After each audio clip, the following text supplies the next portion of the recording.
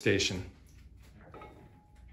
All right, support the weight for a second while I pull the pin out.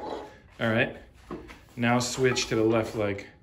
Yeah, do two more reps. All right, that's it. Um, so what we have here, it, Nick, don't go. I need you to take the camera in a second, is the stray dog goat. It's attached to the rack. Attached to the goat is a roller, a post, and some weights. And we got a pin, which we pulled out. Here, you take the camera.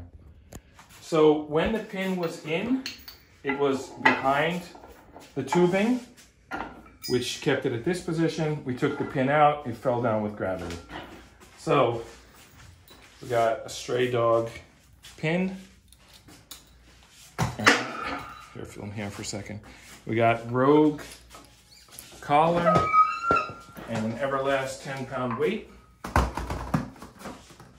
else we got here? Oh, we got a Rogue weight post.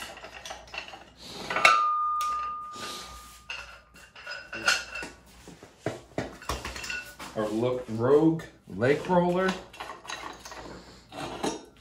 And the star of the show is the just released. It comes out in June. Today's May 28th, so we got it early. The just released uh, Stray Dog Goat. G-O-A-T. The goat. Can do a lot of cool things with this. See you next time on the Temple of Iron.